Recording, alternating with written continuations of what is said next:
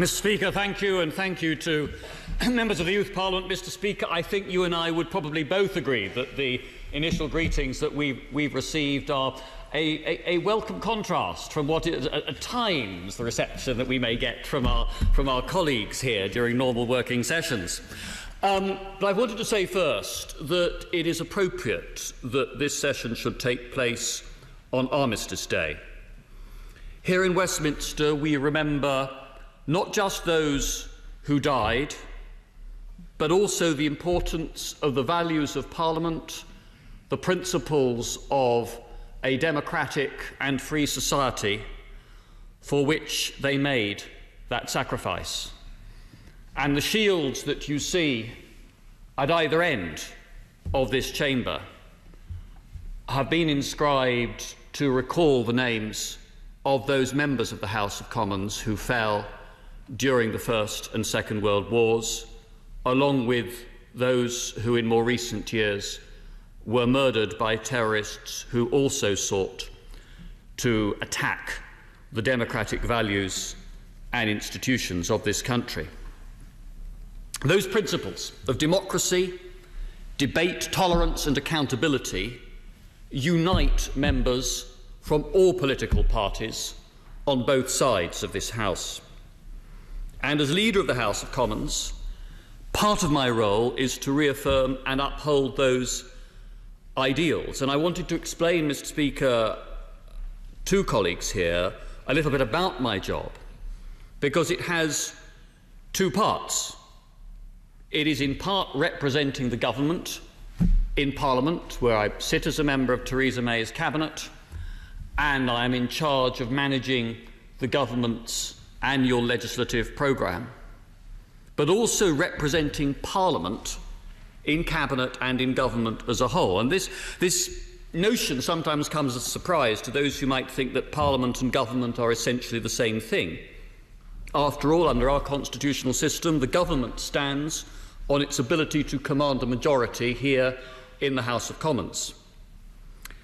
And if it was not for that majority, my task of trying to deliver the government's legislative agenda would be a great deal more challenging. But for a parliament to matter, for a parliament to play its full role, a distinctive role in public life, it is essential that it is able to operate as a strong independent institution in its own right. And this chamber has been performing that function for hundreds of years.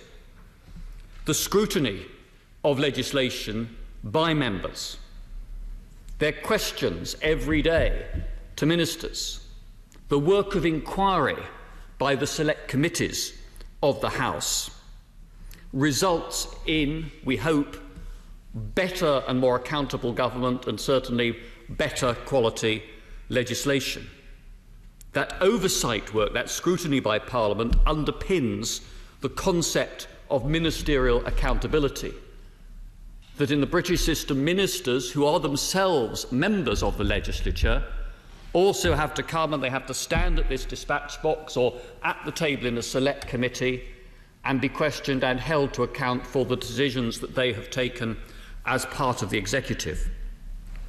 And thanks to you, Mr. Speaker, the increased use of the urgent question has made Parliament even more responsive to the most pressing matters of the day, even though it occasionally causes a certain amount of uh, discomfort to ministers when they're summoned here at short notice.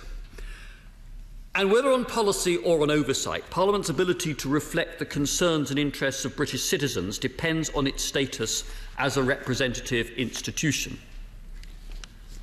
This House has a proud history of ensuring that the voices of marginalised and socially excluded groups are heard and reflected in public debates. And it is probably a little known part of the routines of pretty well every member of parliament, regardless of party, regardless of the part of the country which they represent, that their work brings them into contact week by week, usually in their constituency surgeries, with people from every part of our society, and that we in that constituency work have to confront head on those who are the victims of injustice or those who feel that society in some way is not working for them. And as leader of the House, I think that tradition of, uh, of Parliament is something which it is of vital importance that we uphold and which the government too must support. Our objective must be nothing short of trying to build a democracy that works for everyone. And critical to that objective is ensuring that the voices of young people and their interests are heard loud and clear. And that is why the government not only supports the Youth Parliament in its mission, but also takes an interest in the subjects which you choose to debate. Previously, the Youth Parliament's members have debated issues such as mental health, the living wage, and exam resits. And these are all extremely important questions. And so, too, are the issues you'll be debating later.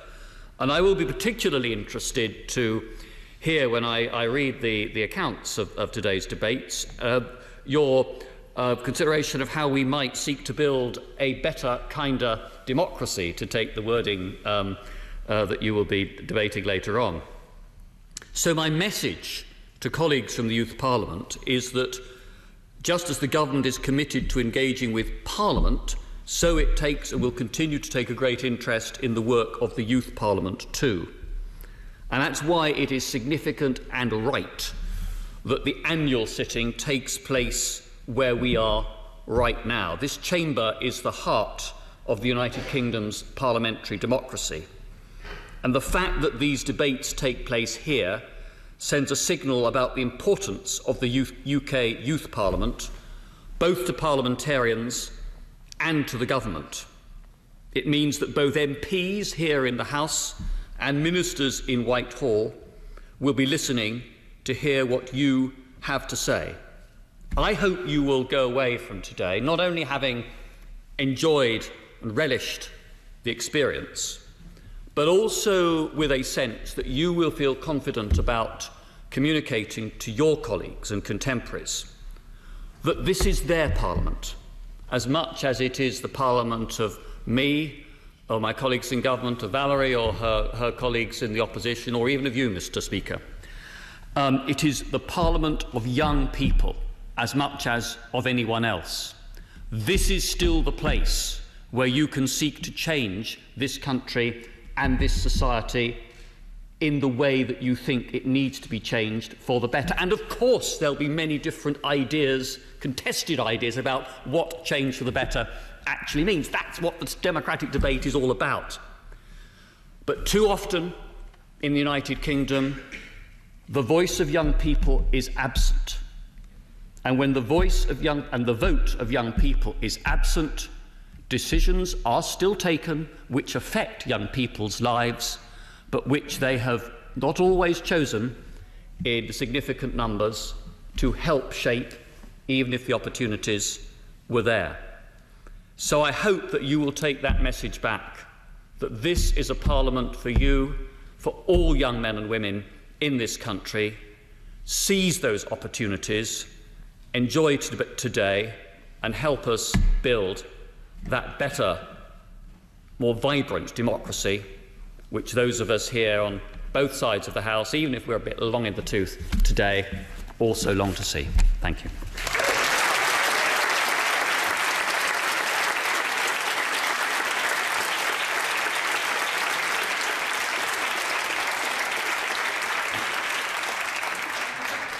Thank you very much. I call Lorand Omar to come forward and to read a message from the Prime Minister.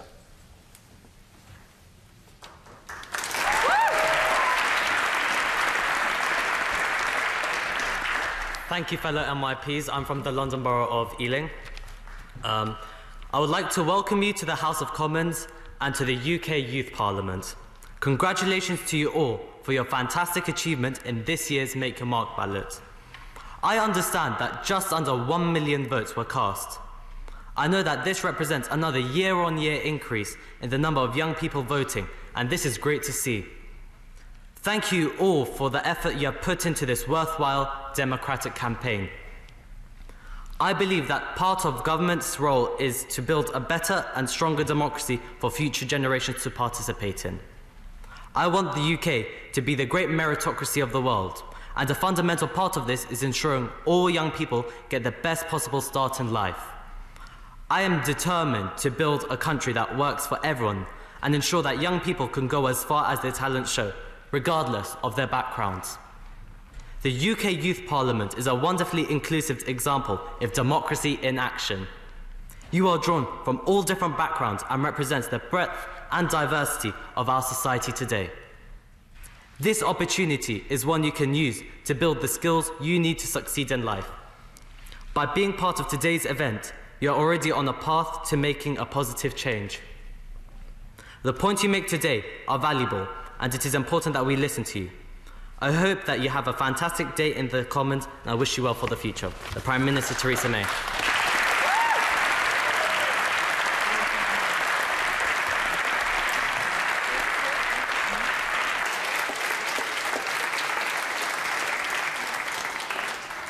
Laura thank you very much indeed for that, and our thanks, of course, to the Prime Minister for her support, which is extremely important to the UK Youth Parliament. Order, order. The Youth Parliament will now consider the first motion of the day. We must stop cuts that affect the NHS. The full motion is printed on the order paper.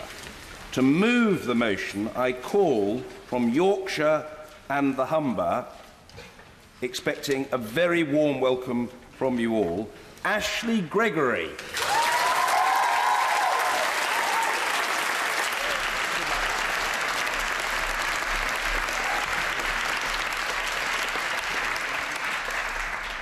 Thank you, Mr. Speaker. In 1942, Sir William Beveridge said that medical treatment covering all requirements will be provided for all citizens by a National Health Service. The NHS was born. 74 years later, the National Health Service, the service that has provided for countless young people across the country, is at risk of being cut to a service that provides a bare minimum. The government has set out plans for the NHS to make 22 billion of efficiency savings by running the service more efficiently. However, the important issue is whether or not this will affect the quality of service that is provided. 22 billion is more than double the amount that the government spends on the entire transport department, so we mustn't underestimate the scale of savings that are to be made. These savings affect all of you directly, from the amount of time you wait to see your doctor to the availability of a dentist's appointment in your local authority. In places such as Huddersfield, we've already seen the devastating effects that these cuts are having. Here, the proposal to close the A&E department has been given the go-ahead in order to centralise services to Halifax, meaning that people needing often life-saving treatment are having to travel even further to get this. We must have our views and interests heard and stop further cuts such as this. At a local level, many services are finding that the funding they receive per patient is reducing. This includes services such as school nursing. Surely it is wrong to cut such local and, more importantly, vital services. Surely it is wrong that healthcare is becoming a sort of postcode lottery, depending on the amount of funding that your local area receives. I believe this is fundamentally wrong. Over the past year, the UK Youth Parliament has been campaigning to improve mental health services, and we've seen some amazing changes, especially in my local area of Rotherham, where we've met with service providers. We should continue to improve mental health services across the country, but surely this cannot be possible if we allow the devastating cuts to the NHS to take place. Cuts that will dismantle, damage and dissolve the National Health Service that we all know and love. Everyone has mental health, and the cuts should not put this at stake. MYPs, we should be lobbying local NHS trusts, MPs and unions to protect services specifically for young people. To me, that one unavailable appointment in your A&E department could potentially be the difference between a life and death-threatening situation.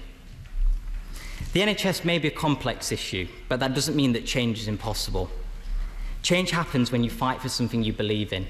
Change happened in 1948 when the NHS was founded, and change can happen here today in this chamber.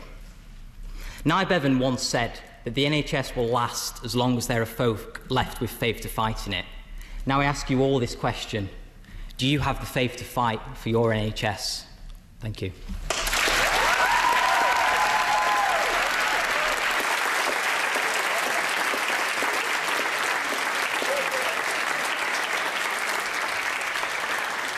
Ashley, thank you for a very fluent and assured start to our proceedings.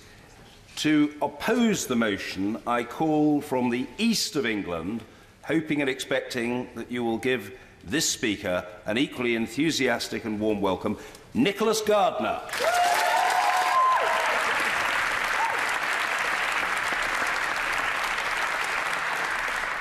Thank you. The National Health Service is one of the UK's great institutions, based on the commitment of universal healthcare, free at the point of use, and a core principle that we should protect and preserve. However, it would not be an understatement to say that the NHS is one of the most complicated aspects of government, with so many moving parts. And the question I pose to you today is this.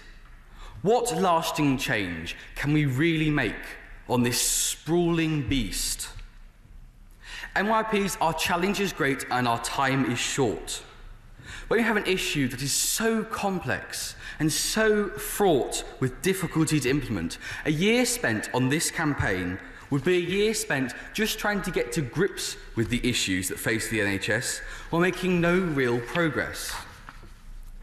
And the target of this campaign on cuts could steer us away from the true issues of the NHS.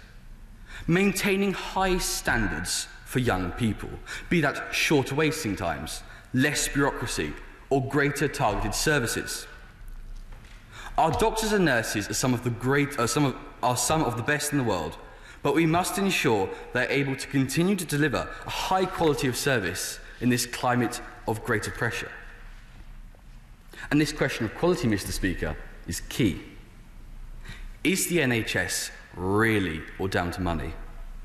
Standards matter to every young person across the UK, and just writing a blank cheque doesn't raise standards.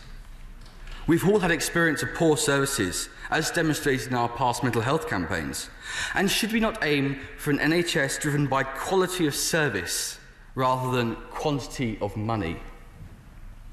Finally, what would a national campaign look like when a lot of our services are dealt with on a local basis? County, not country, is responsible for many of our services now, and an issue for the North East may not necessarily be the same for the South West.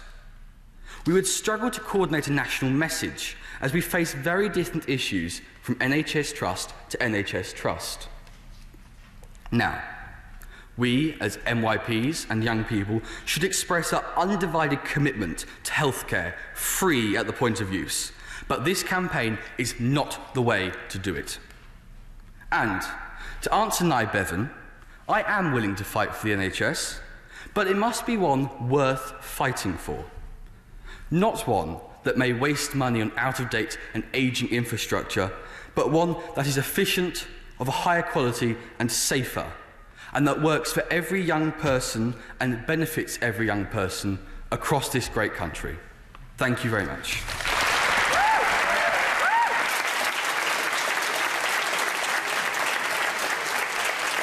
Nicholas, thank you very much. Now, I'd like to call a speaker, assuming somebody wishes to contribute, from Scotland. Is there a speaker willing to contribute from Scotland? Not if you don't want to. Yes, very well.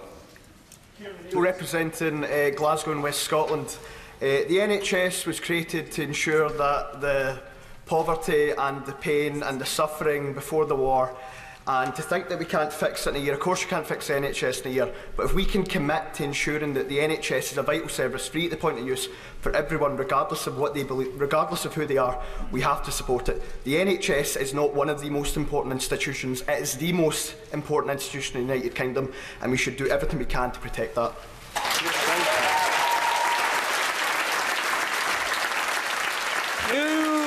Who wants to contribute from Wales? Is there anybody here from Wales who wants to contribute in this debate? Not if you don't want to. No? You do wish to... There are two the gentlemen here. I'm Samuel Taylor and I'm the MYP for Blaenau Gwent. The NHS is one of the United Kingdom's national treasures. It is a unique virtue of our amazing country. Very few countries have a healthcare system like our own. And therefore we need to preserve it and work towards stopping cuts that affect our NHS. I feel very strongly about this issue as I'm MYP for Blaenau Gwent, which is Aneurin Bevan's original constituency. He worked so very hard to help find the NHS to improve our healthcare system. So surely we should work equally as hard to help preserve our healthcare system. Thank you. Thank you.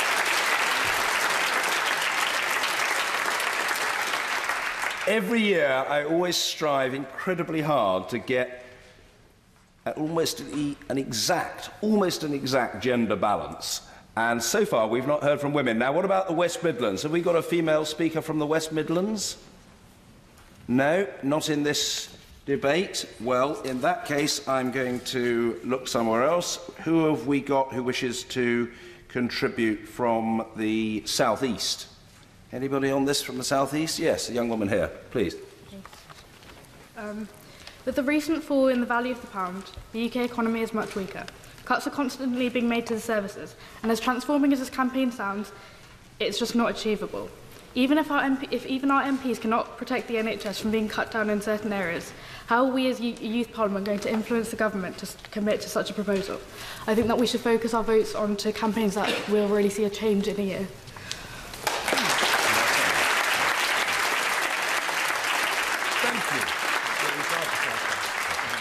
What about the northeast of England? Have we got anybody wanting to contribute from the northeast? Please. Anna Douglas Gates said, The NHS is at the heart and soul of each of our lives, from every birth to every death, dealing with the physical and emotional pain that we suffer. To fund the NHS is not just to fund the services that we need, it is to fund our future as MYPs, we have to think about what we want out of our NHS. I know for sure that I would like a guaranteed free service throughout my life, for me, for all young people, and for everybody that deserves it.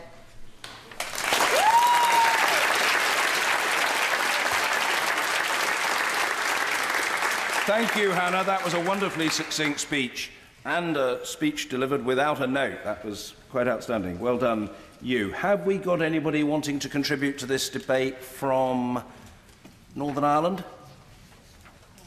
Not from Northern Ireland. Okay. Who have we got from London who wants to take part in this debate? What about the, the young woman at the back with the black jacket and the yellow dress? Please. Thank you, Mr. Speaker. My name is Amishta O'Black and I represent the London Borough of Redbridge.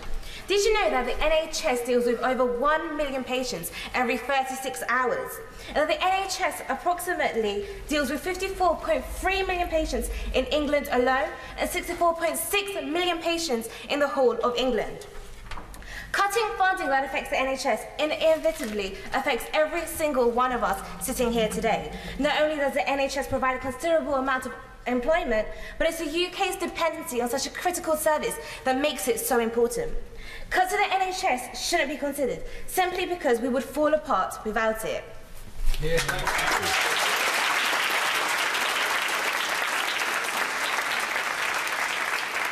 How about a contributor from the East Midlands? We've got somebody from the East Midlands? Yes, the young man here who... Yes, your good self. Thank you, Mr Speaker. Kean Hernshaw for Lincolnshire. I myself love the NHS, and I would like to pay my respect to the workers of the NHS, who provide world-class care even in dire economic times. But the NHS is firmly in the hands of the regular members of Parliament who sit in this chamber, and I feel the NHS is not an issue that should be addressed by young people when there are better uses of members of Youth Parliament's time. I will be voting myself for anti-discrimination to remain the issues of the campaigns, and I call upon you all to do the same. The government has trouble dealing with the NHS, as well as with the EU, the economy. The great and the good are focusing on these issues, and I feel the Youth Parliament cannot do anything more effective than is currently being achieved. One thing we can do, however, is tackle discrimination. In my opinion, the more important campaign of fighting the discrimination at the heart of society needs every fibre of our being and time. Thank you. Now, surely there's somebody from the northwest. Very lucky. Yes. Yes. Well, we'll try to accommodate as many as we can over a period. The, the young woman in the red dress, red or orange. Thank you, Mr Speaker. My name is Victoria Matuszewska um, and I'm from the Salford constituency. Now, the topic stopping cuts to NHS has not surprised me to come in in the top five from a make mark ballots because as we can tell, a lot of us, the young people, feel like we need to do something about it. But now, of course, the cuts in the NHS is something very, very important. But do we have the power and do we have the influence to be able to make the decision with the Parliament to stop these cuts? As was said before, it's not, now it's not the Parliament that does the cuts, now it's the counties. The counties have to decide.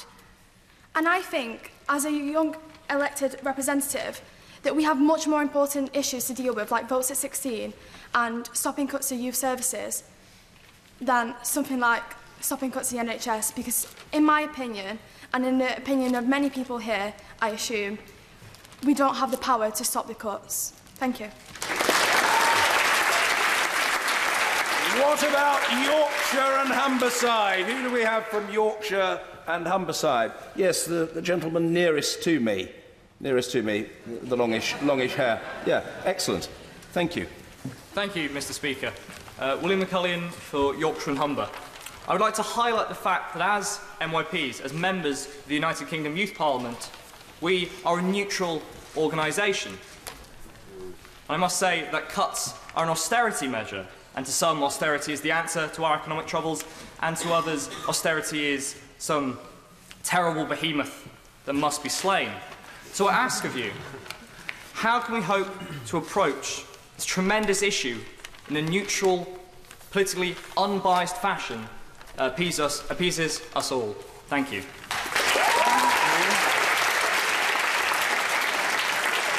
Now, what about the quite sizable delegation from London? Who's interested from London? Yes, the young woman here, please. Thank you, Mr Speaker. My name is Safumi Omisol, and I represent the London Borough of Hounslow.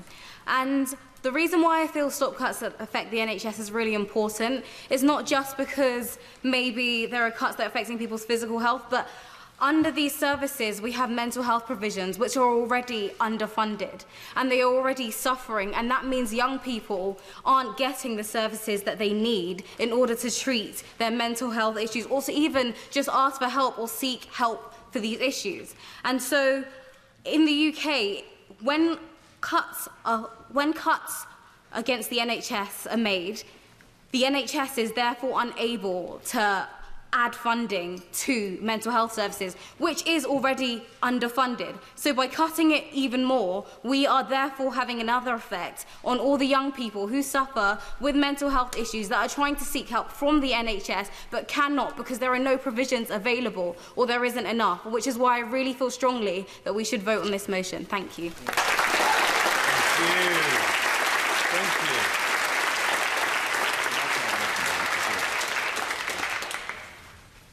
West Midlands? Yes, the gentleman there from the West Midlands. Uh, uh, thank you. I'm Glenn Corder from MYP for Redditch. And um, my biggest concern with this is if you add up the, um, the shortfall of funding for the um, NHS, it's, it, for this year it's probably around 6 billion. And if, uh, if, if we can't do it now, for certain we won't be able to do it in the um, coming years. The second problem is the um, psychological pressure for future medics, uh, especially young ones, who are in a sixth form right now thinking about it. The, uh, the huge pressure um, for the NHS is uh, affecting their attitudes. And um, finally, uh, the youth services are slightly uh, affected disproportionately. For example, um, the 11% less um, school nurses, I believe, uh, this year. So, yes. Thank you. Now, there was quite a large group of people from the northwest who stood. Yes, the tendency to demonstrative behaviour tends to increase by the year, and I say this in no insulting or critical spirit. I was much struck by the young woman with the green jacket and pink dress who's in a state of almost uncontrollable excitement. and we look forward to hearing from you. Please. Um, my name is Jennifer Backledge. I'm from Stockport, and the NHS is an extremely important service. It has drastic impacts on my life as someone who is disabled. It had drastic impacts on my dad's life. He had a brain hemorrhage. But by doing this one year campaign, because remember, MYPs, our campaigns only last one year. We will be doing our NHS a disservice by campaigning for only one year. We can't really do anything. Tackling cuts the NHS is a lifelong campaign that we should all be fighting for our entire lives. MYPs, we already stand for this issue as it is on our manifesto. By making it our campaign, we're just wasting money because we can't do something in one year. Whereas there are much more important issues on here that we can do something in one year. So it would just be a waste and a disservice to our NHS that needs our time and our effort to care for it. Thank you.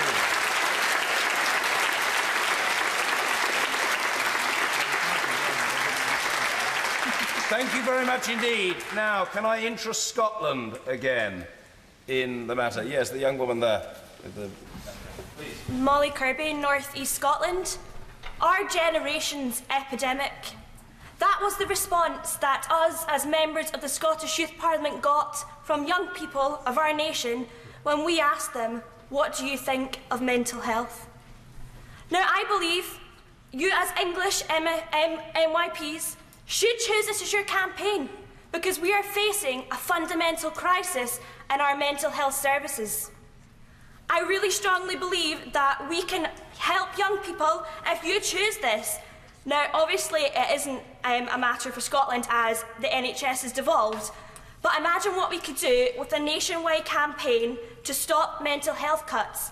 There is no need to cut funding from the NHS. It has survived this long. If they can find funding to fund Trident, to take people out, um, to fight um, terrorists, then surely they can find funding to secure our NHS. So I urge you all today to vote for this as your national campaign for England.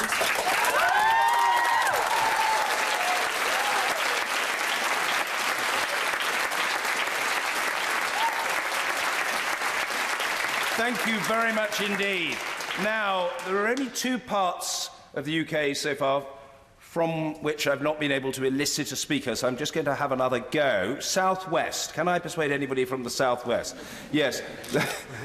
there is a, a young woman brandishing a document, or a pad, whatever. Anyway, and by the way, if I can encourage people to say their name, that would be great.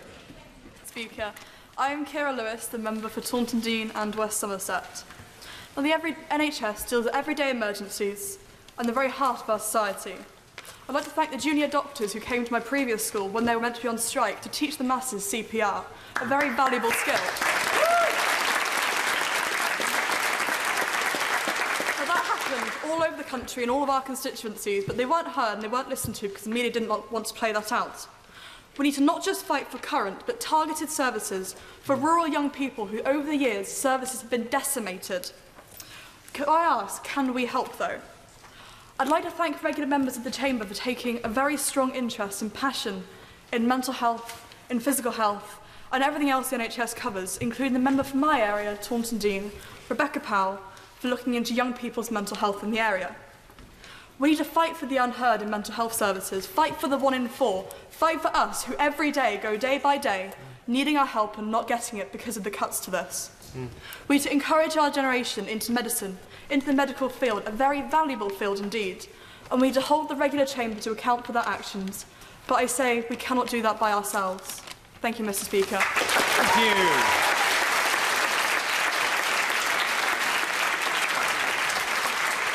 Thank you very much. When you mentioned Taunton Deane, I immediately thought of my colleague Rebecca Pow, who's a most active member of this place. And if you're as active in the Youth Parliament as she is in this chamber, then you're taking a very, very active and conscientious interest indeed. I'm going to make one last effort in this debate to attract a speaker from Northern Ireland. Northern Ireland? Yes, perhaps the, the, young woman uh, towards the back. Yes, thank you. Thank you, Mr. Speaker. Um, my is Emma Rooney and I represent South Down. Yes, I agree our NHS is a very important service and that we should be able to access healthcare free and at the point of delivery. But the NHS is not the only service that is facing cuts. What about our fire service, our police service, our schools. We cannot ignore the fact that austerity is damaging our public services. While I agree that it is very important to fund the NHS, we must fund all our public services if we expect them to work. How are we supposed to have effective public services if we don't put any money into them?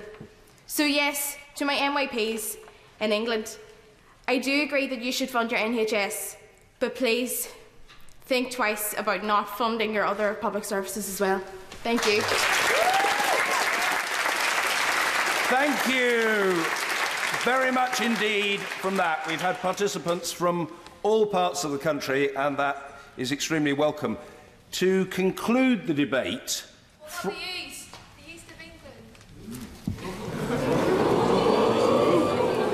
Yes, we have had an, an East of England contributor at the start of the debate. If somebody from the back, if somebody from the back benches, that's a very fair point. We had a contributor from the front bench from the East of England.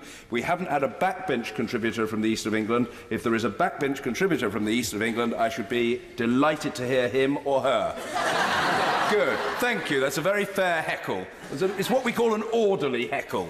Okay, we'll take this gentleman here. Thank you. Thank you, Mr. Speaker. My name is Matthew Tinker. I'm the Member of Youth Parliament for Epping Forest. The NHS is a fundamental part of the United Kingdom. It is a very British organisation. Imagine losing Ant and Dec. Imagine, imagine the BBC losing Great British Bake Off. Oh, oh starting something now. But the NHS is vital to the infrastructure of the United Kingdom. Now, I'm so proud that my grandmother served in the NHS, and I'm so proud that my auntie serves in the NHS. And these are our future jobs. Members of Youth Parliament who are currently studying A levels or university, GCSEs, whatever you're studying, your future jobs are at stake, but also the jobs of people who are currently working in the NHS. It is underfunded. It completely is. Remember, it is our future. Now, it is a critical part of British infrastructure, and I have to say that the NHS cares for all of us. So, no matter whether you are black, white, gay, straight, rich, or poor, we all have free access to healthcare. So that all of our teachers have access, so that all of our religious leaders have access, so that your bus and transport drivers have access. So all of our politicians have access. Have you noticed how each of the debates upcoming, I've just said members of those groups. The NHS provides for all, and I really hope that we are able to vote for this issue today.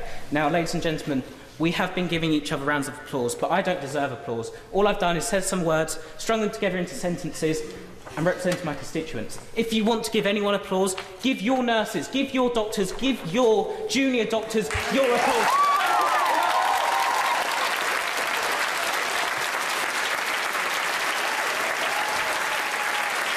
Thank you.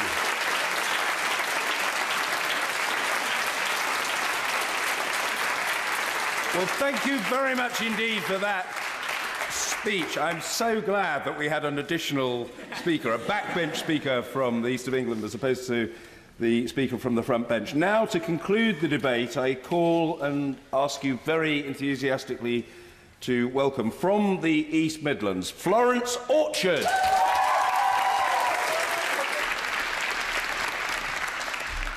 Thank you, Mr. Speaker. MYPs, I don't know about you, but when I first heard about stop cuts that affect the NHS, well, I wasn't really sure about the issue, let alone how it impacts young people. After all, what even is an efficiency cut? What is a CPG? And 22 billion? Well, where did that number even come from?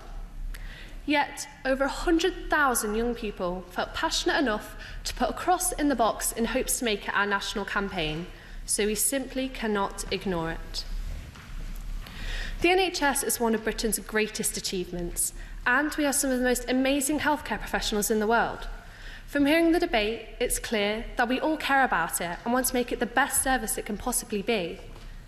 However, many believe it's already underfunded, and new savings of roughly one fifth of the current budget will likely overstretch the NHS. If this happens, it will directly impact you all. From longer waiting times to the potential closing of A&Es, the likelihood of maintaining good quality services while making the savings needed is very low. This is a brand new and exciting campaign that we as a youth parliament could come together to work on to fight any changes to our NHS and to guarantee a positive environment for all those whom are ill.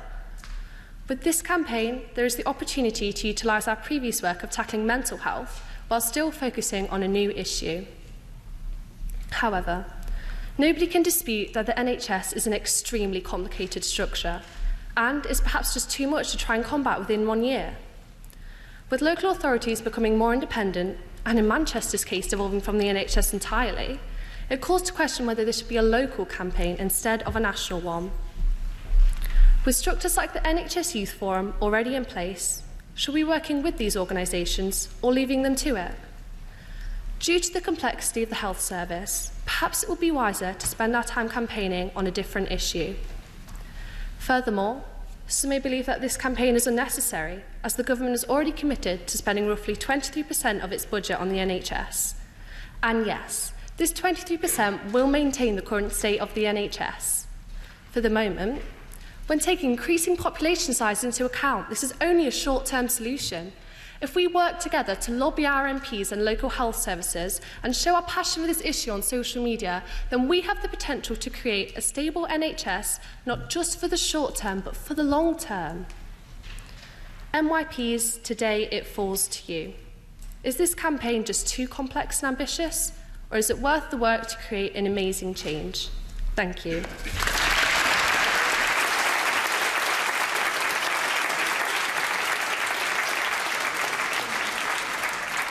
Florence, thank you for rounding off the debate in terrific style. It's been a great first debate. I hope you're energised and inspired by the contributions you've either made or heard others make.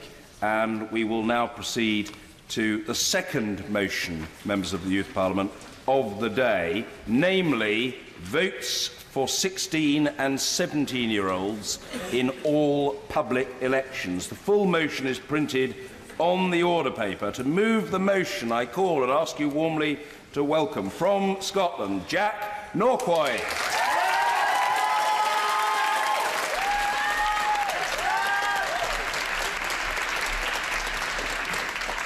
Thank you, Mr. Speaker. Hello, my name is Jack, and I'm 17. And I can vote in Scotland, and I did vote in May, and I cannot begin to emphasise the honour it was to cast my ballot in May. And here's why I believe that every single 16 and 17 year old in this country should also be able allowed to vote. Lowering the voting age comes down to two things maturity and marginalisation. We know what 16 and 17 year olds can contribute, but smoking isn't voting. Voting is a civil rights issue. However, we can offer much more to our society. Most of us are making major decisions about our futures, and many of us already do offer much more by holding responsibilities like being a young carer. Today, we are grounded with an interest of current affairs, and granted a vote, we as a youth parliament can help transform this interest into direct political engagement. Early engagement with politics will help to create lasting improvements to turnout and help create the more representative democracy we so desperately need. As we sit in the heart of this democracy, we are also sitting together as the voices that should be represented in this democracy. The 2014 Scottish referendum proved if you give us the responsibility, we will cast it on polling day. That day saw queues of teenagers outside polling stations with three in four teenagers voting. It was that day that led to the Scottish Parliament unanimously lowering the voting age. We find ourselves in the absurd situation where if you are a 16 year old lad from Dumfries you can vote for a councillor next May. But if you live just 30 miles down the road in Carlisle, you can't. Following June's EU referendum, we do face difficulties ahead and further marginalisation. but a great opportunity is also here.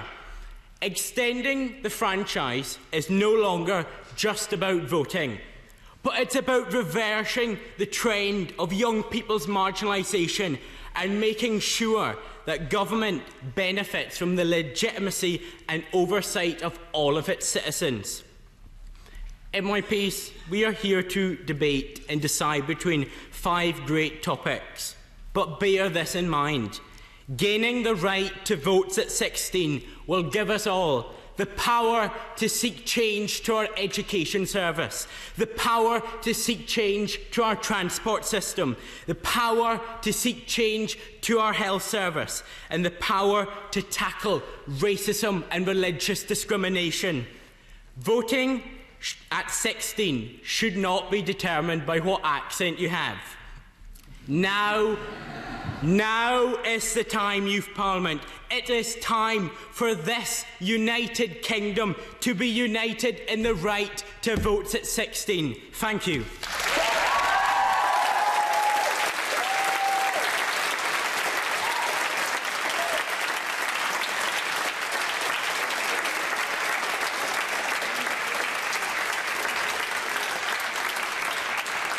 Jack, thank you for that very powerful speech. Thank you, members of the Youth Parliament, for your warm and enthusiastic welcome of it, and especially thank you to the Scottish delegation fan club of Jack for their explicit and demonstrative show of support, which is entirely in order. Just before I ask you to welcome our next Speaker, it is my practice to try to identify members of the House of Commons who are here to support you, but I'd also like to mention a very senior member of our staff who is taking an interest in and here to offer support to you, and that is the clerk assistant in the House, the second most senior procedural official in the House of Commons, Dr. John Benger. John, just put your hand up so everybody can see you. Thank you.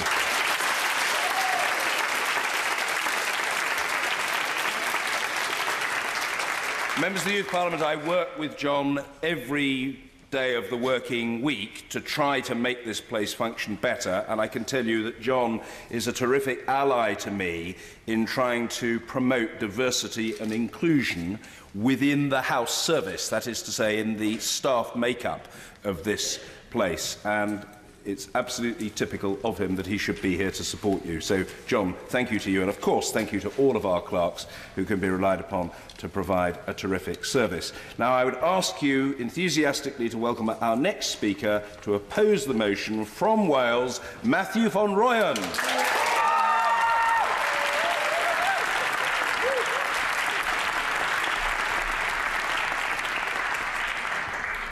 Thank you very much, Mr. Speaker. It's always a pleasure to serve under your chairmanship, and I'm delighted to be here for another year. And I'm thanking you for all the work that you've been doing to ensure that the UK Youth Parliament sits here every year, year after year. Thank you, Mr. Speaker. If I.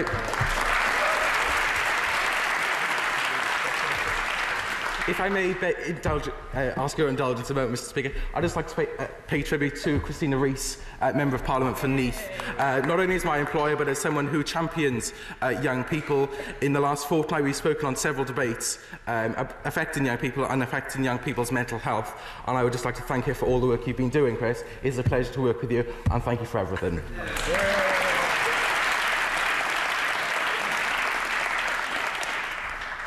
The House of Commons the heart of our democracy.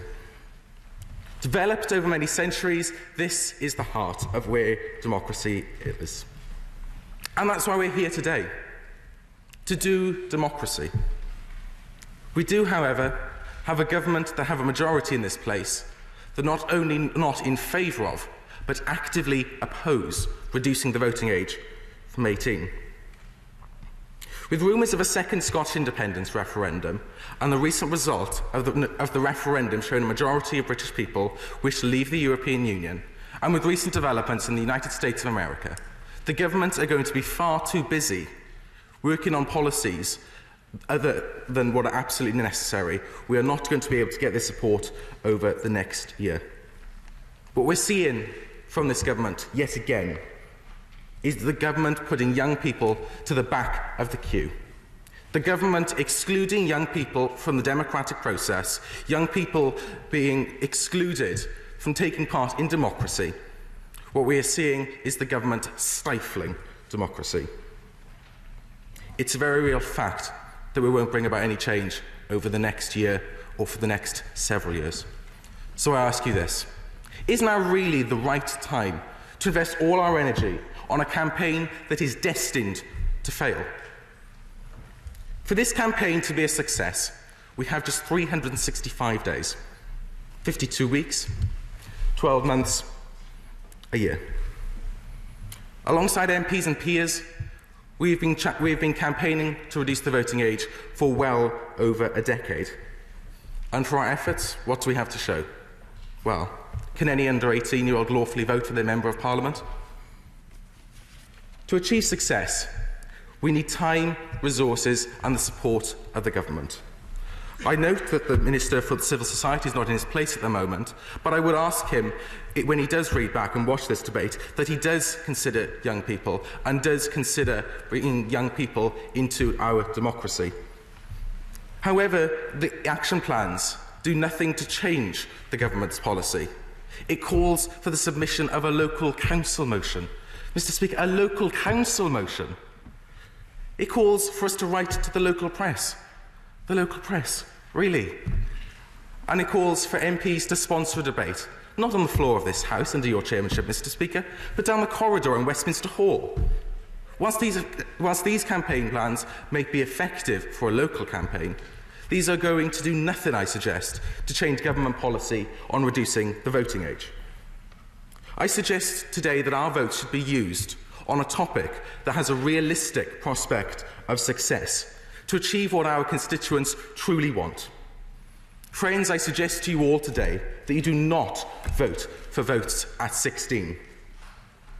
Without government support and without substantial changes to education policy to introduce a curriculum for life, reducing the voting age would be deeply unwise and almost impossible.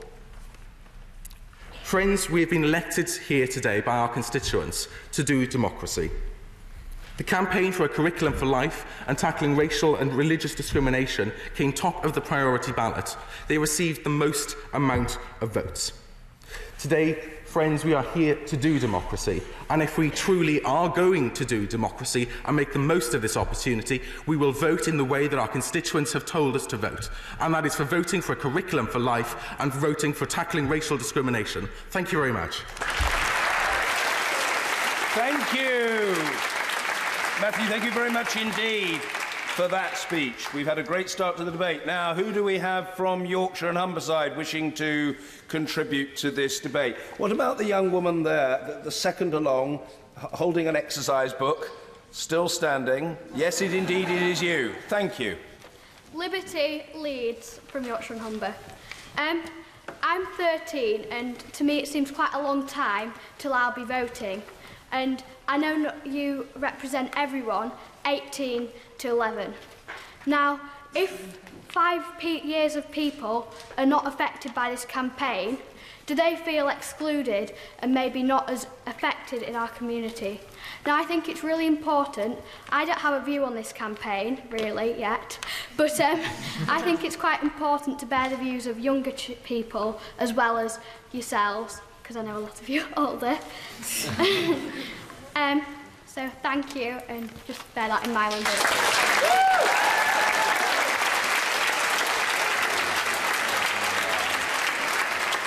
Thank you very much indeed, and congratulations on your first speech in the House of Commons. Now, do we have a would-be contributor from Northern Ireland? Yes. What about the young gentleman here with the, the red hair? Yes, please. F thank you, Mr. Speaker. I'm Lou Welsh I am representing East Londonderry. In, in Northern Ireland, we are in a unique position. We actually have a land border with the EU, and in light of the EU referendum, it became quite clear that there's a clear democratic deficit in regards to elections in general in the UK. The vast majority of Northern Ireland voted to stay in the EU, and none of Scotland voted out. So it, it becomes quite clear to me and my constituency that we, that we clearly aren't being listened to in the UK in general. we, we really, I, I believe fundamentally that this was an England based election because we're being dragged out of the EU against our will. And we we have a land border with the Republic of Ireland, and a lot of our economy sort of relies on cross border trade. And if a, if a land border was to go up, our economy is going to be damaged beyond repair. And I, I believe through back in votes at 16, th this election could have been changed if we would have had the vote. And I, as the, at the start of the debate, the entrance into the, piece, it, it became quite the, the right, what I'm making the point is in Scotland they have the votes at 16, so why can't the rest of us? Thank you. Now, the east of England. Who do we have wanting to contribute from the east of England? What about the young woman here with the, the white top? Thank you. Thank you, Mr Speaker. I'm Rhiannon May Duffy from Bedford Borough. I'm fighting for the right for 16 and 17 year olds to vote because you're allowed to leave home, get a job, have kids at 16, but not vote. How can you live in a world if you can't vote and you don't have a say in how it's run? That's what the suffragettes fought for. The MP for Bristol said cutting the voting age would be a vital step in the renewal of Britain's democracy. I understand some people think this is a hard campaign to achieve. However, don't UKYP love a good challenge? Now, what about London? Who do we have from London? What about the young man here with the red tie from London? Thank you. Uh, thank you, Mr. Speaker. I'm Sean Siddinen representing the London Borough of Enfield. You see, the issue for voting at 16 has affected youth for a very long time. The issue has repeatedly popped up on the ballot, and it's time to take the, the issue on again. The main argument against voting at 16 is simply outdated, saying that we are not old enough or mature to vote is simply stereotypes. For example, Mr. Speaker, look around at all the beautiful people who simply defy that statement. You see, at 16, we are practically allowed to grow up, but restrained from our voices being heard. In addition, considering the, well, controversial current affairs, this topic is more important than ever, and a way for the youth that can be included in our society.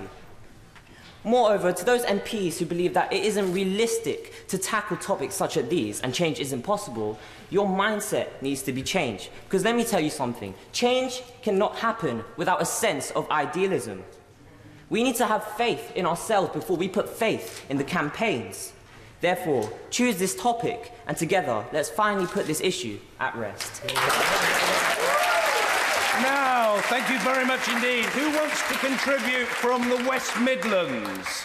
The West Midlands, this chap is waving at me, fist, thumb, the rest. A marvellous demonstration of enthusiasm. Please, let's hear from you. Thank you very much for the opportunity, Mr. Speaker. Okay, most of us here are between the age of 11 to 18. 11, 12, 13, 14, 15 year olds. Can't we stand as peers together to help you by the age that you reach 16 to be able to vote? 16, 17, and 18 year olds, 16, 17 year olds, we, we should be able to have the eligible to be able to vote right now. We should stand peer to peer as students of the United Kingdom stand together to say, yes, we can vote for our democracy, for our future that depends on us because we are the future. We are fantastic. We are powerful. We are amazing. We are the best because we are the youth of the United Kingdom. And we have the best, sorry, we are the best. And it's simple. If we vote together, if we stand together to say we can vote at the age of 16, 17, we'll be setting an example. Thank you, Scotland. Thank you so much for saying now that, that you voted for your referendum. Because at the moment, it is the senior citizens that are voting in this country at the moment. But as we are helping them to sort out how to use the Snapchat filters, let's sort out ourselves because we are mature. Look at us all here at the moment. It's showing that we're mature, we're responsible, that we can vote. So let's stand and we'll sit down right now and say, yes, we can vote for the age 16 because remember, the 11 to 15 year olds, we, you will thank us later on to say, yes, in a few years' time, I will be able to vote for my democracy, for my, uh, whether it be any political party that you want because you will say, I had a voice and you will decide for your future. So let's stand together and vote at the age of 16 and 17 year olds.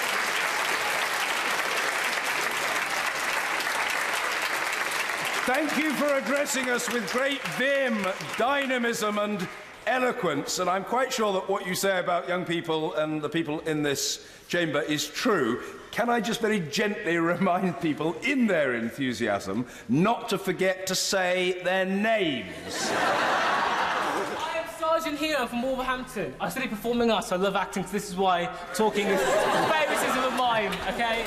Vote for 16, 17 year olds. We need it! We deserve it the most in the world!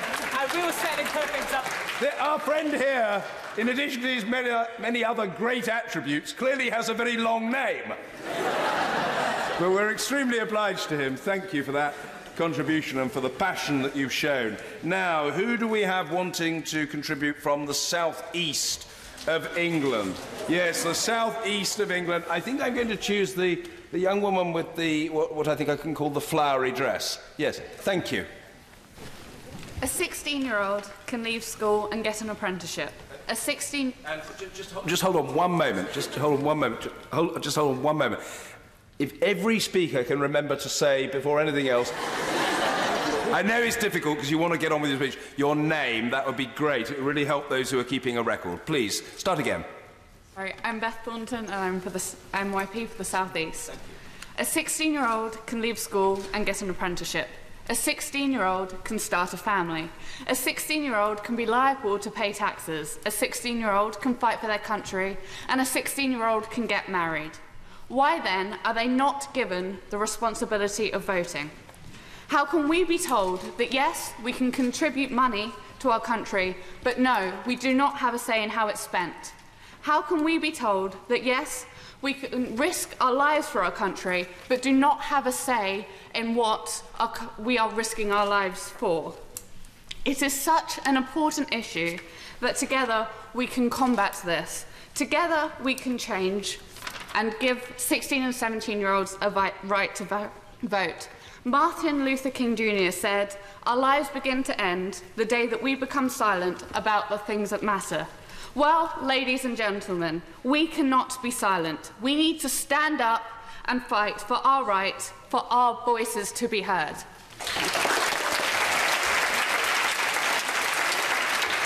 Thank you. Just before I try to secure a speaker from the southwest, so think about that if you're from the southwest, I would like to take this opportunity to welcome, sitting in the under gallery, unless my eyesight is failing me, and I trust that it isn't, Stephen Benn. Wave. Thank you. I mention Stephen for two reasons. First, because he does fantastic work to bring together the science community and Parliament, and he and I have been working together on that cause over many, many years. Secondly, Stephen is brother to Hilary Benn, who is an extremely respected and senior member of this House and a former Cabinet Minister, currently chair of the so-called Brexit Select Committee. And Stephen is, of course, the son of the late, and whatever your politics, the great parliamentarian Tony Benn, who spent a half a century of his life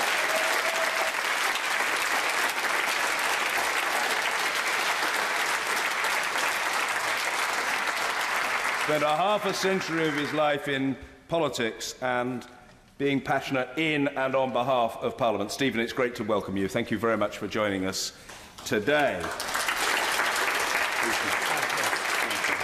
So, the Southwest, who have we got from the Southwest? Who wants to contribute? What about the, the woman in the, the mustard coat? I hope that isn't an inaccurate description of the colour. Thank Um, Jessica Hill, oh, thank you, Speaker. Jessica Hill from South Somerset. Um, as Youth Parliament, we should be fighting for our youth voice and youth issues. Uh, yes, representing young people in our constituencies is terribly important, but we should hold them up and let them tell us what they want and they need. I am 16, and in the next two years, I highly doubt I will suddenly happen upon an epiphany that will allow me to vote appropriately, as according to the people against this issue, I will. It might be difficult, it might be a hard way for us to go about this issue, but when has that ever stopped us? I refuse to stand for young people not having a voice. As a youth parliament member, I say let us speak for ourselves. Thank you. Now, what about the north west, northwest of England? Who have we got from the northwest? Well, there's a gentleman gesticulating with great intensity. The young gentleman here with the blue tie. Please, let's hear from you, sir. Thank you, Mr. Speaker. My name is Chen Kai-xie, representing Preston Lancashire. Coming from China to the UK three years ago, my life has been changed greatly. Living in a liberal democracy, I'm fully aware and appreciate the importance of voting rights.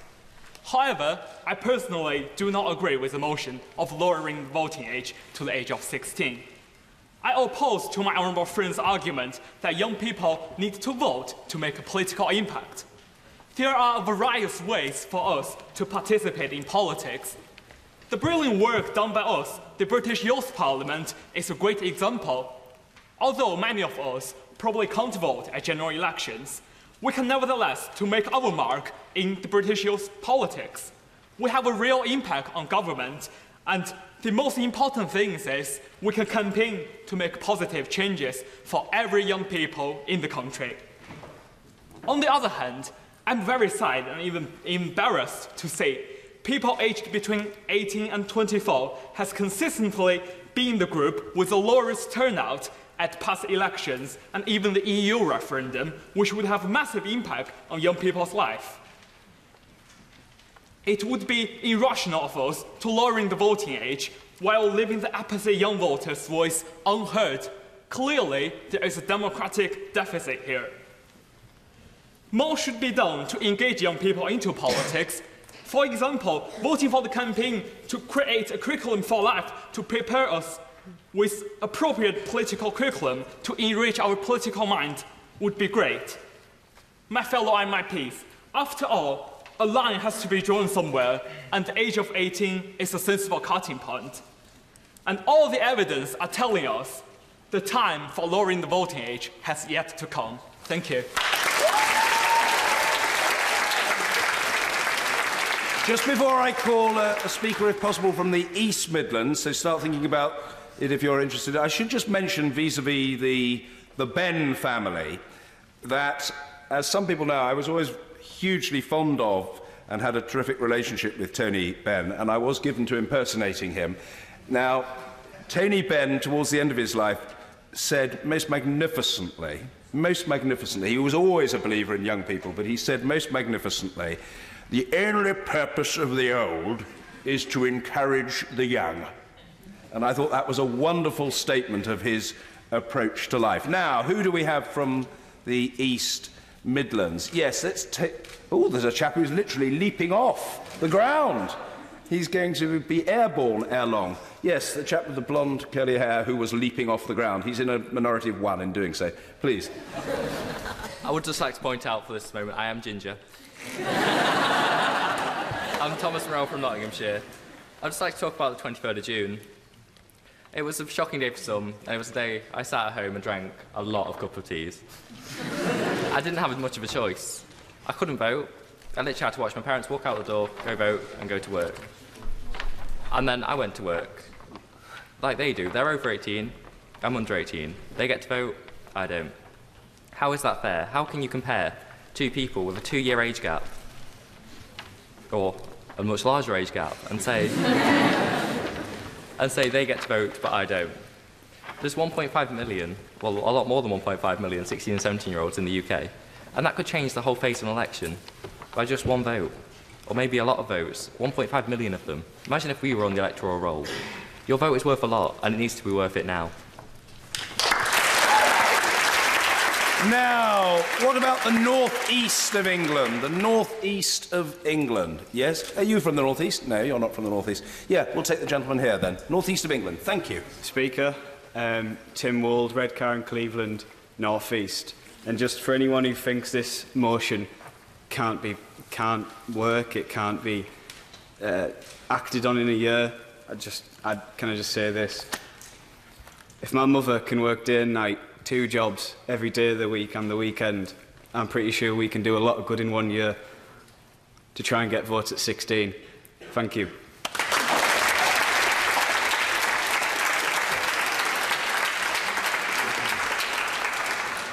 Is there a would-be female contributor from Wales? Yes, there is.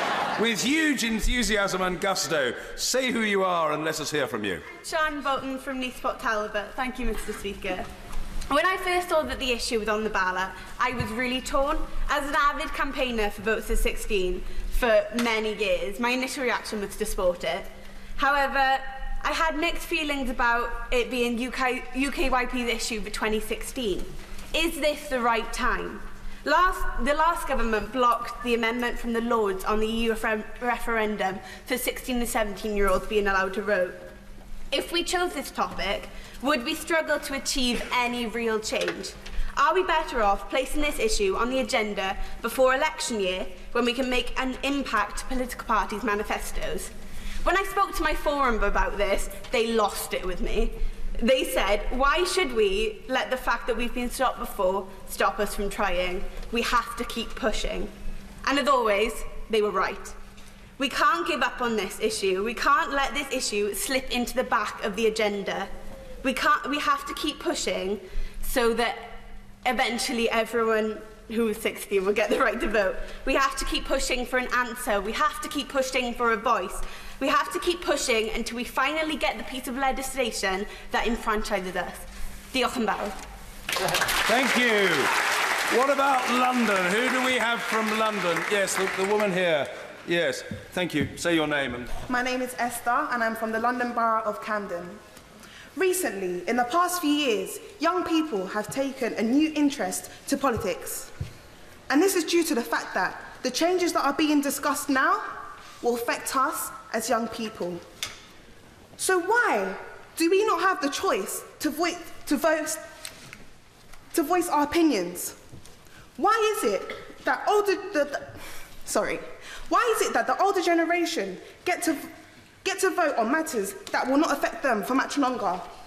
I strongly believe that this motion is very important and we're meant to have the right to free speech. But do we? Thank you.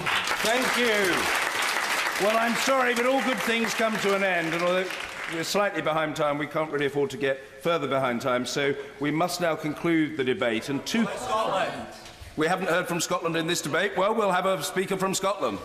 Yeah, no, we'll have a speaker from Scotland. Have the young woman there. Yes, indeed. Okay. Um, I'm Eleanor Pearce. I represent the Highlands and Islands of Scotland. Um, last year, 16 and 17 year olds in Scotland were able to vote. And for me personally, this is an absolutely amazing opportunity.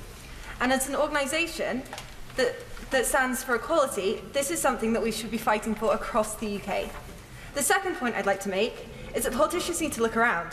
Today, the Chamber is filled with 280 young people who are all enthusiastic, knowledgeable about politics. And we're so often stereotyped as a disengaged, unresponsive generation due to our age. If you support this campaign, we can stand together and prove this view. I urge you to take a look at the next topic of debate. It's an utter contradiction that we should be adult and mature enough to pay full, full price for public transport and have other responsibilities, yet this doesn't transfer to benefits such as voting. Today, I'm not going to lie, I've been very disheartened by the, by the Youth Parliament.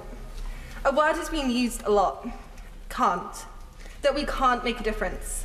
What kind of message is this to our constituents? I can assure you that every speech, every vote, every letter does make a difference. We were elected because we can make change. Please support votes for 16 and 17 year olds. Please make a difference. Thank you.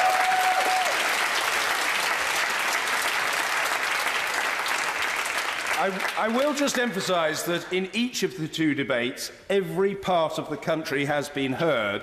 The very slight difference between us has been that colleagues have not regarded a front bench speech as counting. They wanted to be sure of having a backbench contributor from the east of England and from Scotland, and I'm very happy to respect that principle and to try to ensure that in each case that happens. But we now know for certain that every area of the country has been represented. It's not the same as saying I'm able to call everybody. Time doesn't allow that. But we are doing our best to ensure that this is a completely fair and equal process. Now, to conclude the debate, please give a very enthusiastic welcome to our concluding speaker from Northern Ireland, Dara O'Reilly.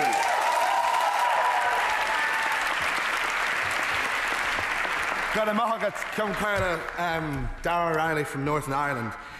This, the age we live in, is a time of turmoil. A time of turmoil on Tuesday night, time of turmoil on the 23rd of June. What I must say to you is that in this time of turmoil in our politics, in our government, and in our society, does the government have the time to deal with this issue? It's not a question of should they, but will they? Secondly, I must ask you as well can we even be successful in one short year? Is it enough time? And is 16 the right age? We're all aware of the total and utter shambolic way in which politics is taught in schools.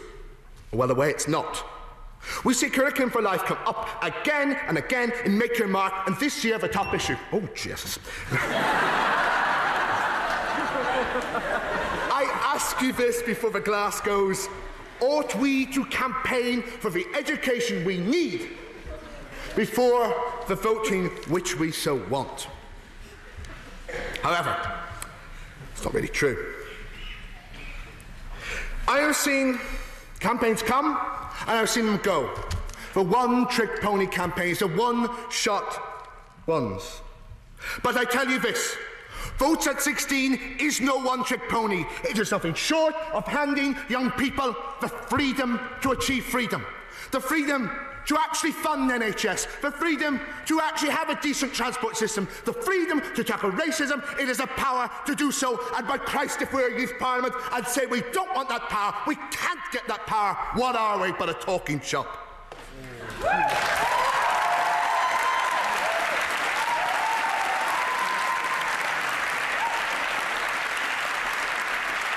Sixteen and seventeen-year-olds would have kept us in the EU. I live five and a half miles from the Irish Republic.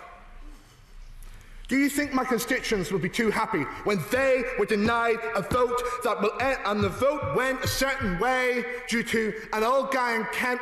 I love him and all, but the thing is, is that my community is on the line, and that this government has no accountability to me or my constituents. And if we don't stand up for them, I ask you this, Mr. Speaker.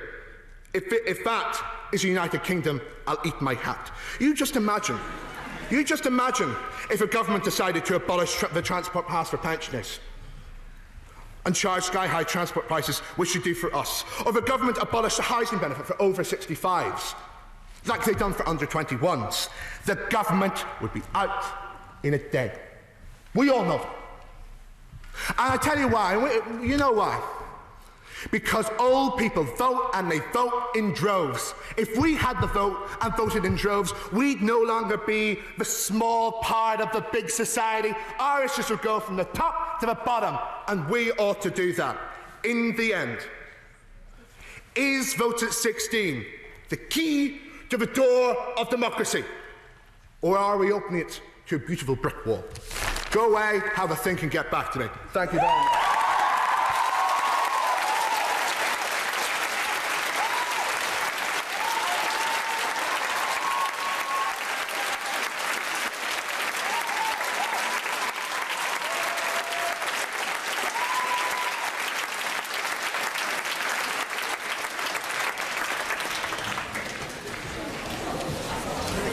Thank you so much for winding up that debate with fluency, with sincerity, and with the quality for which I think we're looking more than any other, and that is passion.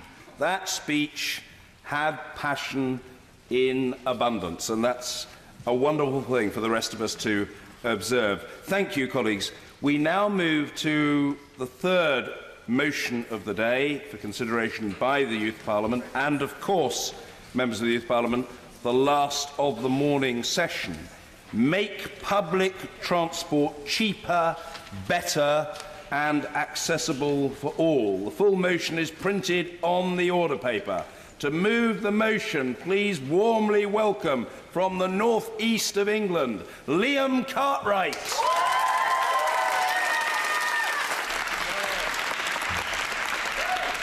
Thank you, Mr. Speaker. I'm not sure how I followed that speech by Dara, but um, I'll give it a go. So across the UK, we have the luxury of a diverse network of public transport systems, from rail, bus and ferry. On the surface, this is superb. We can all travel independently and hassle-free. It is only that when we look at the issues raised by our constituents that the can of worms truly starts to open. If you look back to 2012, when the issue of public transport first came to the agenda within UK Youth Parliament, we can see no change. Four years and still no change. The issues are still exactly the same. We young people are calling for cheaper, better and more accessible transport. We are calling for this now. The first change that we, we wish to see implemented is a standardised fare system for bus and rail across the UK. What would this look like? We would see the age at which you're obliged to purchase an adult ticket raised to 18. After all, in the eyes of the law, you turn adult at the age of 18. So I ask the question, why at the tender ages of 14, 15 and 16 are we paying adult fares? This is an injustice we believe must be ironed out. It is not right that transport companies capitalise from our necessity to use their services to attend compulsory education. In my constituency of Newcastle upon Tyne, a young person over the age of 18, 16, sorry, could pay up to £7 a day for a ticket. This is similar across the whole country, while those in London travel completely free. Why is this? There is no reason why fares should differ due to geographical location, and this must be changed to a system of standardised fares for everyone. And finally, we wish to see clean, frequent and reliable bus and rail systems. In rural areas, the waiting time for a bus can be in excess of an hour. An hour can be the difference between a whole lesson late for school or on time. Bus companies need to produce a more frequent bus service in line with our needs. This issue returns time and time again. It has been debated in this very chamber over and over again. The time has now come that we must listen to the needs of our constituents and for the ever-worsening issue of transport to be rectified. And how do we do this? We will lobby local governments and MPs to support this issue. We will make local services listen to our concerns until they understand that the issue of public transport can no longer be swept under the carpet. And we will shape a transport service into a transport system for young people. We will provide fares that reflect our age. And we will have frequent bus services. Not only this, but it will be accessible to all. Let us be the generation of MYPs to make real change within transport. Thank you. Liam, thank you very much indeed for kicking off this third and final debate of the morning. Now, to oppose the motion, please welcome enthusiastically from the northwest of England, Caitlin Kavanagh.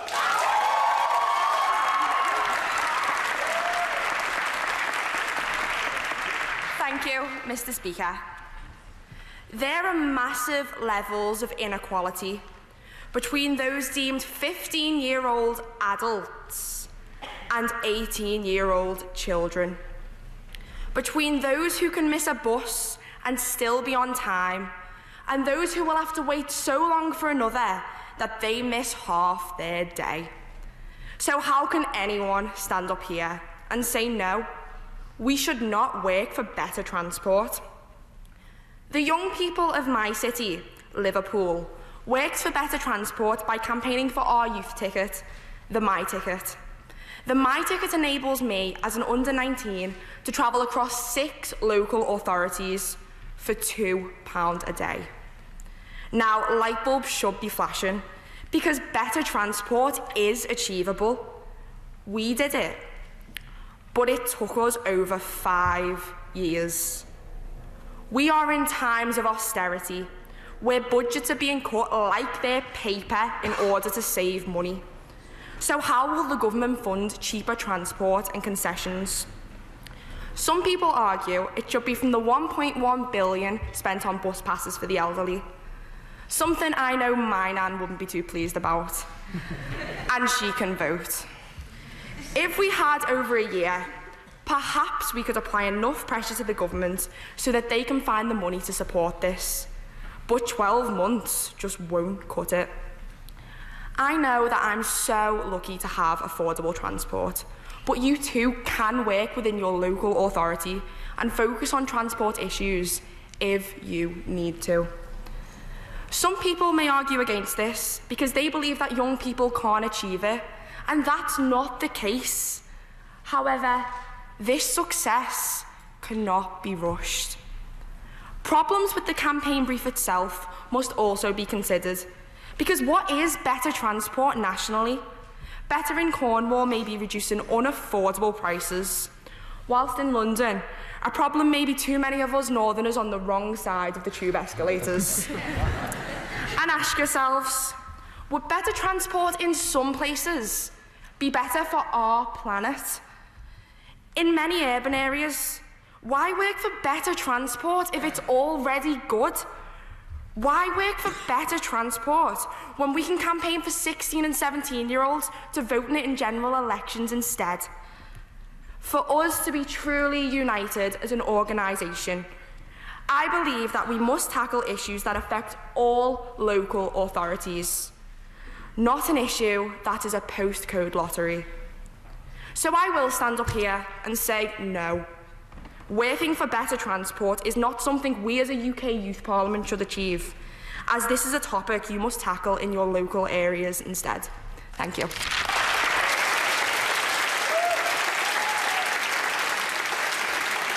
Caitlin, thank you very much indeed. Now, who do we have as a would-be contributor from the southwest of England? Yes, the woman waving at me with, indeed, your good self. Yeah, No, no, no, no, no, the woman who's just sat down. Yeah, you'll get, indeed. Hi, I'm Chelsea White and I'm from Somerset in the southwest. Um, in order for me to go to college every day, I have to pay £650 bus, bus pass every year. This is the most expensive bus pass in the country. I'm also from Bridgewater, which consists of the most deprived wards in Somerset. This financial pressure on families just to simply send their kids to an educational institution that is compulsory is absolutely disgusting. And even for low-income families like myself, that's still £300 a year. In regards to cost, how is it that we are categorised as adults on transport and made to pay these ridiculous fares? But in every other aspect of our lives, we are treated as children. We need a national student fee introduced in order to provide equality within public transport. Thank you.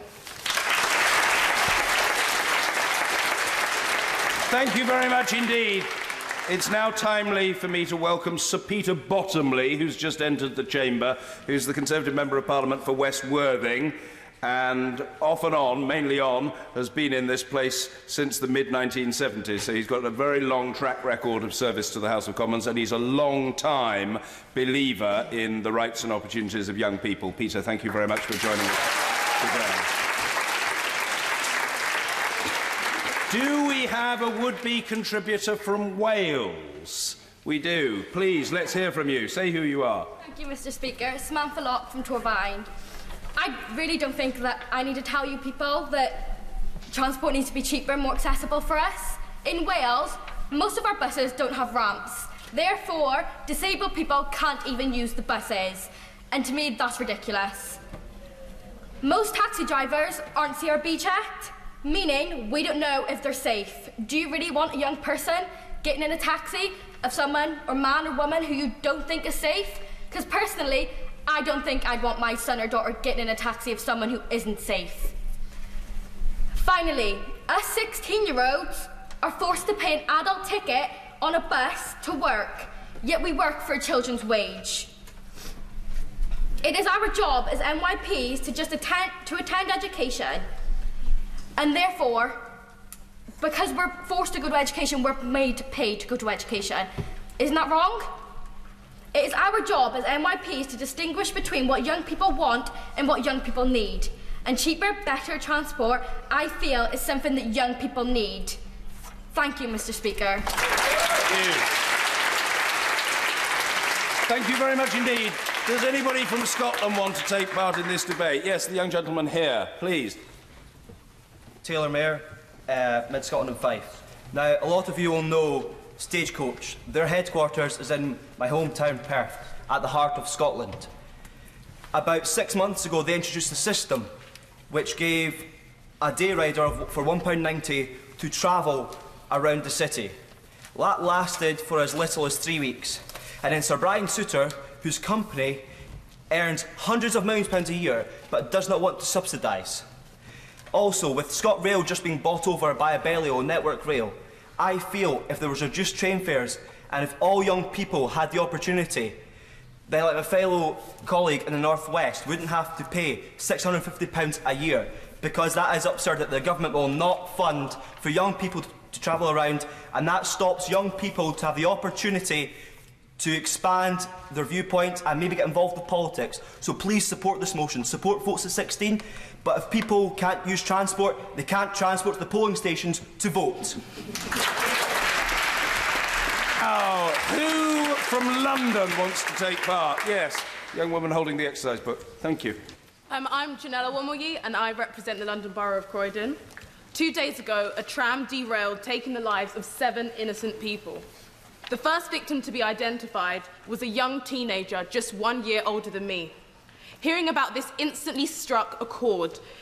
It is a method of transport that I regularly take and lots of my friends and family regularly use. Trams should be fitted with safety protection systems to apply, to apply brakes automatically if they're going too fast. Lives are too precious to be lost in such a way. Thank you.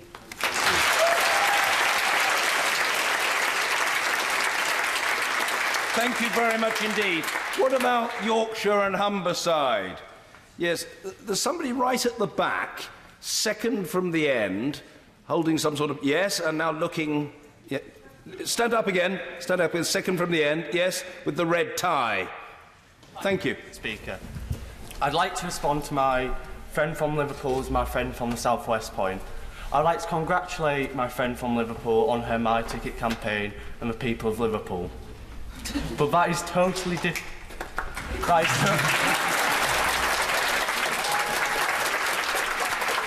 that is completely different from my friend in the Southwest. £650 to pay to go to college, which is essential for your future, is an absolute disgrace. But can we really do anything nationally? Personally, my bus fare for college is £190 a year. That is a significant difference. But that is a devolved issue. Like we talked about the NHS earlier, every local area is different. With transport, it, nationally it's just not viable, feasible and achievable. And instead, shouldn't we be having casual youth debates about curriculum for life, politics, votes at 16, anything else? I plead with you not to support this motion and support curriculum for life. Thank you. Thank you. What about a contributor from Northern Ireland? Is there a would-be contributor from Northern Ireland? Yes, the gentleman there. Thank you. Thank you, Mr. Speaker. Ben Sharkey from Lagan Valley. I 100% support this motion. Past even the financial aspect of helping young people and students, I believe it helps us all in that it has great environmental benefits as well. More people using a better infrastructure of public transport will lead to a cut down in emissions from private vehicles, which benefits the entire world. Which is, so that is why I believe everyone should support this. Furthermore, we can't just say for every issue, can we do this in a year? We have to go into this optimistic. We owe that to our constituents. Ooh, very much indeed. What about the east of England? Who do we have from the east of England? Yes, yourself. Please. Okay, thank you, Mr. Speaker. I'm Megan Day, representative of Mid Suffolk. Today I talk not just on behalf of the young people, I talk on behalf of our home, our planet, and our environment. We, I don't need to stand here and lecture you all on the dangers of air pollution and global warming. I think you all know that already. But what I do want to bring to all of your attention is that Britain's carbon emissions, 25% of that is taken by transport. Did you know that one full bus can take up to 50 cars off of the road? And did you know that up to one full train can take up to 600? Mid Suffolk, the area I'm representing, is very rural and very isolated. The, the public transport there is irregular and expensive. How can we expect to reduce our carbon footprint if there are no alternatives? Something needs to be done. Something can be done, and that something can be us. Thank you. What about the southeast of England? Who do we have from the southeast? You've been trying for a while. Thank you. Um, thank you, Mr. Speaker. I'm Anna Fawaz from Slough. It is all good and well to get young people off the streets and to provide positive activities. It is no use and if young people cannot afford to get there. Although Transport for London has concessions for young people, this is not the case nationwide. If we had a national concession for young people, it would make transport, it would, it would allow transport to be cheaper and accessible for all. If, and more young people would use it. It would reduce numbers of cars off the road and contribute to a greener society. And of course, stop the taxi service of mum and dad. Recent legislation expects young people in education till they are 18. Why are we charging them adult fares when they are only 16? And making it unaffordable to attend colleges, internships, apprenticeships and other volunteering opportunities. I urge you all to vote for this motion because I get a taxi nearly every day after school and I do not feel safe. I do not feel safe getting just from school back to home, which only takes five minutes. This should not be the way forward. Thank you all. Thank you. What about the East Midlands? Who do we have from the East Midlands? Yes, the young woman there. Indeed. Mr Speaker, my name's Nishat Tamana and I'm the MYP for Leicestershire. I'd just like to say, why is it that when, when you become 18, you can drink, you can smoke, you can take a mortgage. You can do whatever you want to do. Why is that? Because you are classed as an adult. Whereas when you're 16, you have so much responsibility. I go to work, I go to college. I'm here today speaking as a representative. I can say I do all of that, yet I am still treated like a child. I find this very discrimin discriminatory and unfair. How can you treat someone like this? You can't. I have to get the bus uh, not one, but two, to get to the college that I chose to go to. You come into education and have to be there up until the age of 18. You should have a choice as to where you would like to go in your constituency or even outside of your constituency. You should be able to go there and know that it is at a lower fare that you can afford and your family can afford. So why is it that it is unfair and you are paying such an expense that actually you may choose not to go into education because you are not just providing for yourself, but for your family. Thank you. Thank you. Thank you very much indeed. Now, what about the northeast of England? Who do we have from the northeast of England? Gosh, it's a toss-up. We'll take you. Thank you. Thank you, Mr Speaker. Um, I'm Thomas Crawford and I've got the pleasure of representing the young people of Sunderland. Um, I've heard brilliant um, explanations as to why we should completely back this motion, and I 100% agree with every single one of them, whether it's on the issues of age or the environment. Um, I would like to make a few comments on the practicalities of the motion. You know, people say that this is ambitious, but is it not ambitious to do everything that we do? To secure debates in this very chamber and sit on these very green benches, that was ambitious, and we never thought it would pay off. And then when it did, the payoff was even bigger. Our local campaigns, we have doubts, but when they pay off, the, more, um, the bigger the doubts, the bigger the payoff. I would urge everyone to back this campaign and do not let the word ambition put us off, only to encourage us even further. Thank you.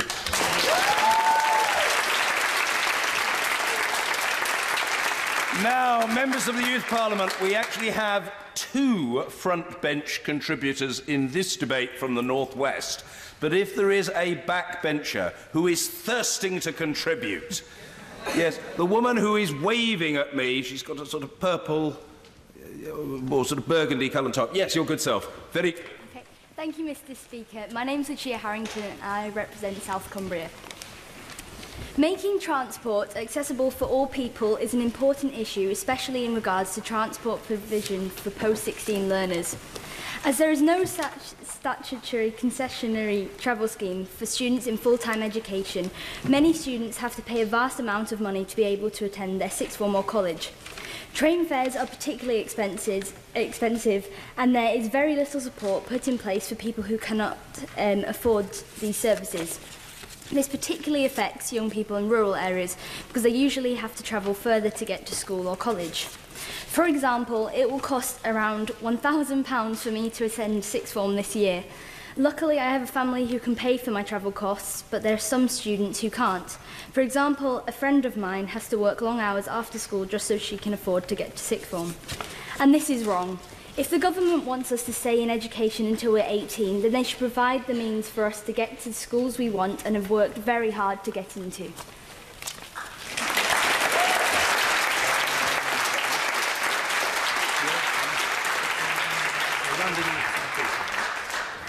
Anybody else from London wishing to contribute? Yes, yes. Uh, what about the gentleman in the back row? Thank you. Uh, my name's Hamza Tozan and I'm the Member of Youth Parliament for Westminster. So, welcome everybody. um, I'm really sorry for my counterparts across the room who have to pay such a ridiculous amount of money to actually just get an education, to go to college, to actually do things which should essentially be free. And from London, being from London, I live in probably the most, the best zone to live in, zone one. So I only pay about £1.30 to get from, I guess, anywhere in London. I'm privileged in that sense. And in terms of going to college and going to school, I'm also privileged to walk it to school because I live about five minutes from my school. But I think it's ridiculous to say that we should not campaign for lowering trans um, rate pay costs for transport. Because essentially, as soon as that, like my friend over there said, doubt creeps into our mind, everything fails. Doubt is the hell which we go through every day. People doubted that we won't be able to make it here. People doubted that we'll be successful in our lives. But here we are here. What I want to say and want to urge people is don't let doubt overtake you. We are stronger than that, and we are better than that. We, young, we are the young people who, in the future, will be successful. We will make our country greater than it's ever been. We are the future, and just when doubt hits you, just tell it to go away. Tell it, see you another day. Not today, just get rid of it. At the end of the day, we are the best people we can possibly be, and we want the best for our country. Thank you. Thank you. you. Now, to conclude the final debate of the morning, I ask you warmly to welcome from the northwest of England, Lucy Boardman.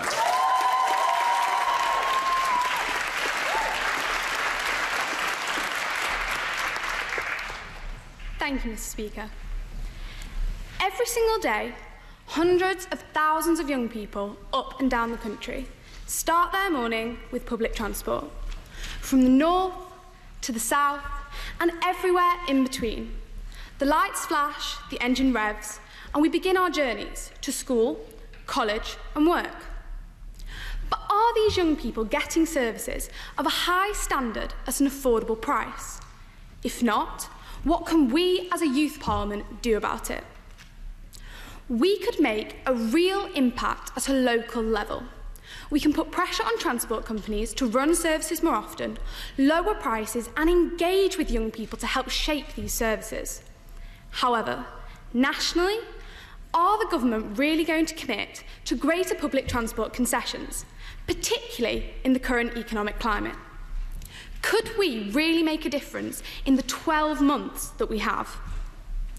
Since young people are now legally required to remain in some form of full-time education until they're 18, it seems logical that young people's transport concessions are extended accordingly. But money doesn't grow on trees, so which other services would need to be cut in order to fund this? Yes, we've campaigned on this issue before, but there is still so much more to be done. In 2012, the Youth Select Committee found that the cost of public transport fares was a key issue for young people. And clearly, it remains so. When we asked almost a million young people which topic was the most important to them, over 120,000 of them voted for transport. However, there were already other pressure groups working solely on this issue The campaign for better transport is already well established and making progress. So perhaps we should invest both our time and our resources into an alternative topic, one that might be more achievable and produce better results.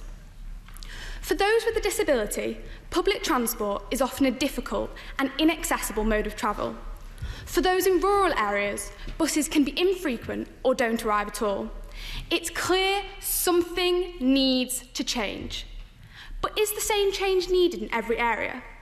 Transport in Durham is very different to that of Derbyshire, which is again different to that of Devon. Can we tackle this issue on a national scale? Or should we be making it a local priority instead? In the end, it's up to you. We could turn our attention elsewhere, ready to accept a new challenge and tackle a new issue. Or we could spend another year campaigning for better, more affordable and more accessible transport, building on the progress we've already made to help bring about a positive change in the lives of every young person we represent. So, do you want to get off the train and change platforms or keep the engine running and finish the journey?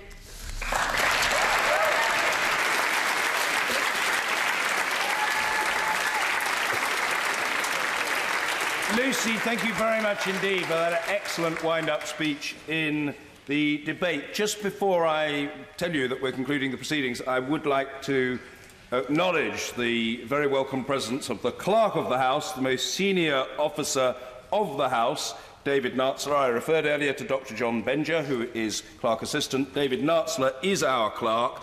He's been in the service of the House for over, he's not very old, but he's been in the service of the House for over 40 years, and he sits at that table in front of me every sitting day when I'm in this chair. So our cooperation is of the highest importance. And David, thank you for your interest and support.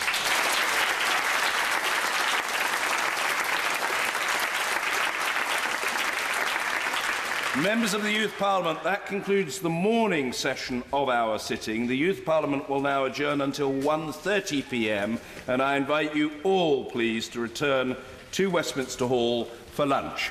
Order, order.